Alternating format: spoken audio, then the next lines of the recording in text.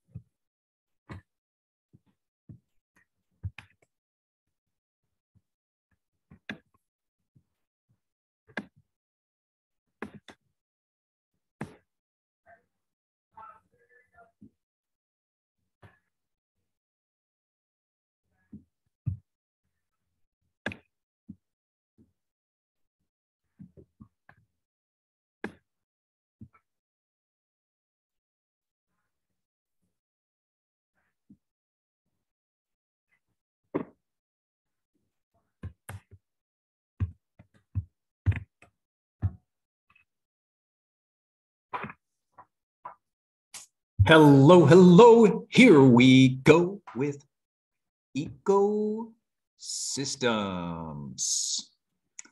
This is unit one, and uh, this begins our rapid review. So let's get going. All right, so let's first of all just talk about quick reminder about how ecosystems are built, right? So we have an individual, a population, which is all organisms of the same species interbreeding with each other. We have community, which are all the interacting biotic factors. And then lastly, we have ecosystems, which are the interacting biotic and abiotic factors. And then beyond that would be a biome and then a biosphere.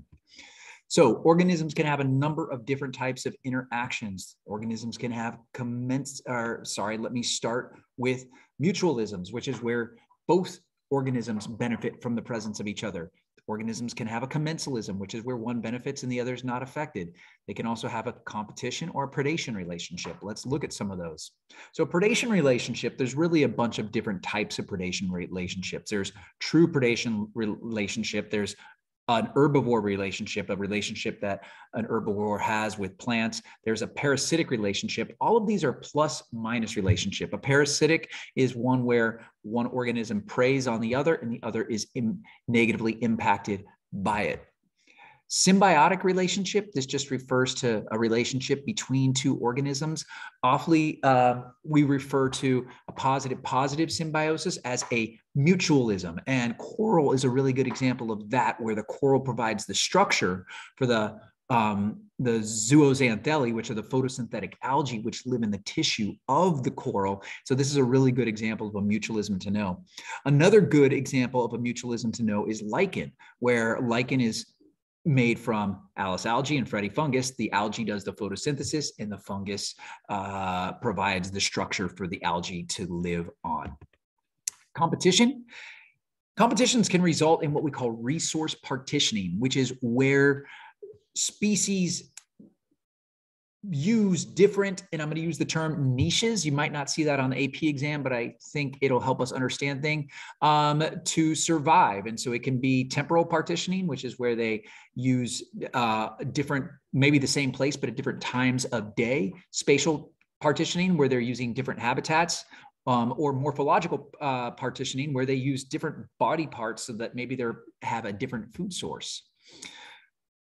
We'll come back to food webs, um, but I do just want to remind you that the arrows in the food webs always move in the direction of the energy flow. So in this case, the Arctic cod is being eaten by the polar bear.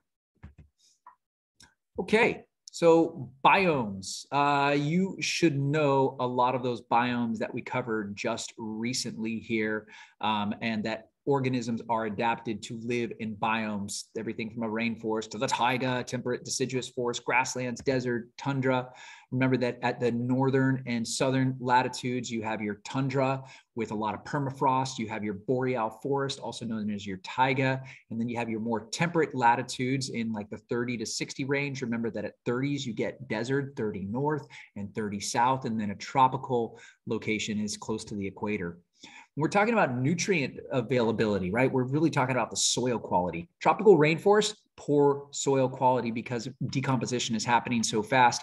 Temperate forests have really good nutrient rich soil because you have lots of dead decaying things that are slowly um, decaying. And then something like a boreal forest or taiga actually also has a nutrient poor soil because it's so cold there that things decay so slowly. Remember that biomes are shifting as climate change takes place. Um, biomes will move to more northern and southern latitudes, something that we're already seeing happen. Aquatic biomes to know. So we have a lot of different aquatic biomes, but let's just talk about what they're based on here. And this is not something that necessarily I spent enough time covering. So let me take the moment now. So we can characterize aquatic biomes by their salinity, how deep they are, are they flowing, and their temperature. So freshwater rivers and lakes. There are several zones within a freshwater lake. There's the littoral zone, which is where you have emergent plants, plants sticking out of the water. It's right nearby the shore.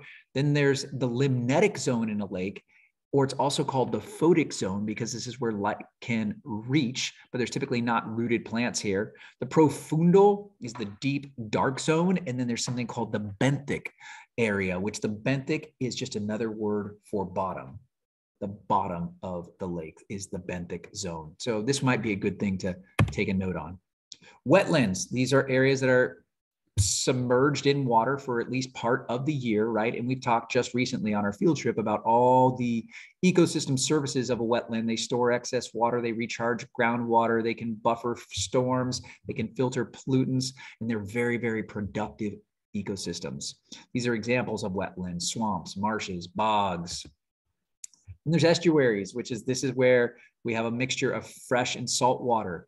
Um, one really important estuary are um, salt marshes, a highly productive area um, in temperate climates, and then also mangrove swamps, which most of these mangrove swamps, which these are trees that grow in salt water and excrete the salt out of their leaves. Most mangrove swamps in the world have been cut down for shrimp farming. And these are some of the world's most important and productive ecosystems. And so there is a real push to save the world's mangroves. Coral reefs, obviously, another really important um, um, aquatic ecosystem. Coral reefs are the most diverse of all reef systems, or sorry, of all uh, uh, marine and aquatic ecosystems.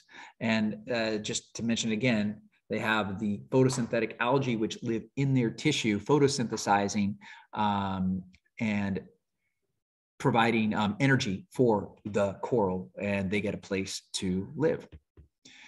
Um, many coral, just as a reminder, being lost to the world to warming oceans. When it gets warmer, they expel their zooxanthellae and they bleach. Then there's intertidal zones. We spend some time in the intertidal zone um, for semester, and that's where we have things living that um, have skins that prevent them from drying out. And I'll move on from here since that's what we're most familiar with. And then we have the open ocean, the least productive area. Produces most of the world oxygen, but the density of the productivity is really low. And again, I'm going to pause because this is an important thing that we missed earlier on. And so in the ocean, you have benthic, which is bottom, benthic, which is bottom. Then you have the photic zone, which is where the light shines. And then you have the aphotic zone, which is where light does not shine. Some people will call it the abyssal zone, but I think a better term that you might see is aphotic. Okay, now we get into our cycles. And so I'd encourage you to just to spend some time. We've spent a lot of time with carbon, right? It comes, uh, it's sequestered, taken in by plants during photosynthesis, or it can dissolve into the ocean right? The ocean is a large sink of carbon. The largest terrestrial sink of carbon is going to uh, be limestone. Over time, that limestone can be suppressed um, or uh, compressed, I should say, and turned into fossil fuels. And then obviously, respiration releases carbon into the atmosphere, as well as other human activities such as combustion of fossil fuels and um, fires. Make sure you know the equations for photosynthesis and cellular respiration, um, and also how pH changes when carbon dioxide is dissolved in water. When carbon dioxide is dissolved in water, the pH goes down, making it more uh, acidic. And here's just a little bit more about the ocean and the carbon cycle. Remember that there's kind of a couple of ways that carbon can get into the ocean. One would be if it just dissolves directly into the ocean. Another way would be if algae absorb the carbon dioxide and take it out of the ocean, or coral reefs absorb the carbon dioxide, um, or if marine organisms with calcium carbonate exoskeletons die and sink to the bottom. And we've talked a lot about extraction of fossil fuels, but uh, this is just showing that over time, these buried sediments can become fossil fuels and then they can be extracted and combusted and sent back into the atmosphere. The nitrogen cycle. This is probably one that you need to spend a little bit of time on reviewing. Okay, so remember that we first have nitrogen fixation. That's when nitrogen from the atmosphere, N2, is brought into the form of NH3 and ammonium. It's done with lightning bacteria, and remember that legumes, the bacteria that live in the root nodules of legumes. And then there's also synthetic nitrogen fixation, which is when we actually produce fertilizer, synthetic fertilizer. When the nitrogen is converted from NH3 or NH4 to NO2 and NO3, that's your nitrite and your nitrate, that is called nitrification. Assimilation is then when the plants absorb the nitrates or sometimes ammonia, and then it goes into the bodies of animals and it's turned back into ammonia, NH3, and that's called ammonification. At any step, the nitrogen can be turned back into the gaseous form by bacteria, denitrifying bacteria, and that's called denitrification. Humans have altered the nitrogen cycle. It is the most abundant element in the atmosphere. The main way that we've altered it is by fixing more nitrogen to make fertilizer, and that fertilizer has run off and caused eutrophication, cultural eutrophication when it's caused by humans. The phosphorus cycle. So remember that we use phosphorus for things like detergents, um, and um, phosphorus is mostly contained in rocks. That's the major sink for phosphorus. And um, phosphate rocks can be weathered naturally or we can mine them. And phosphorus is unique in that it has no atmospheric component. So remember that it has no atmospheric component. It can also be mined for fertilizers because remember that in aquatic ecosystems, often the limiting nutrient is phosphates. And so that's why putting phosphates into water can also cause an algal bloom and cultural eutrophication. And this is just an example of eutrophication, which remember is when you put excess nitrogen or phosphorus into water, you get an algae bloom. That algae dies and decays. And then the bacteria, the aerobic bacteria, use up the oxygen and you end up with a hypoxic zone or a dead zone. And so just knowing the important, the process of eutrophication is really important. And we spend a lot of time on that. Remember that if you're asked an FRQ about a reservoir, that just means like where it's stored. So if you were asked to give a reservoir of phosphorus. Um, you might give ocean sediments and rocks, for instance. And often you'll be given like a diagram like this, which will even help you figure that out. And so our last cycle, the hydrologic cycle, know that water evaporates, water can condense into clouds, then it can precipitate, it can hit the ground and undergo runoff. It can then go infiltration and percolation into the aquifer, and then it can move up through the roots of a tree and through a tree through evapotranspiration. The ocean is the largest reservoir of water, um, and but it's also obviously stored in the ground in lakes, rivers, and ice caps. But most of the water on Earth is not usable um, as fresh water. So again, just make sure though you know that word transpiration, which is when it's drawn through plants. Um, and then evapotranspiration is just the total amount that is drawn both from evaporation and through transpiration of plants. Remember that trees make it rain by putting uh, water into the atmosphere. That's why if you cut down the rainforest, it stops raining or doesn't rain as much in that area and it can lead to desertification runoff and when you have less infiltration you have more runoff and vice versa. And we'll get into how humans alter the water cycle here. Okay. Getting close to the end here. Primary productivity is in the units of um, energy per area per time. So kcals per meter squared per year.